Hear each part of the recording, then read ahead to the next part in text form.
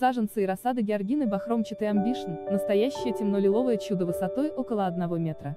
Разновидность голландской селекции, славящаяся густомахровыми цветами с длинными лепестками, рассеченными на кончиках.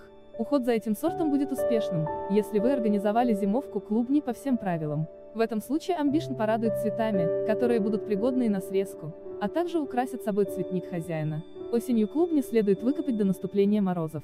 Растение довольно засухоустойчивое, успешно переносит относительно большие перерывы в поливах. Георгина бахромчатая Ambition – это однолетнее растение высотой 100 см.